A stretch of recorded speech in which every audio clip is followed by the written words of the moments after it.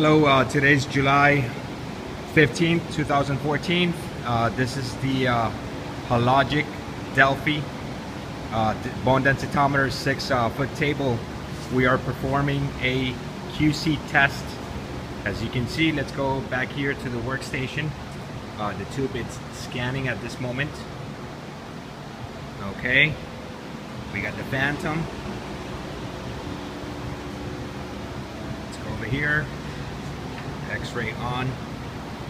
I just want to show you real quick the performance of the test so you can check and see that the system is in fully working conditions. Let's go back over here. It says daily QC passed. Now we're going to review the analysis and here we go. Let's take a look at the tube.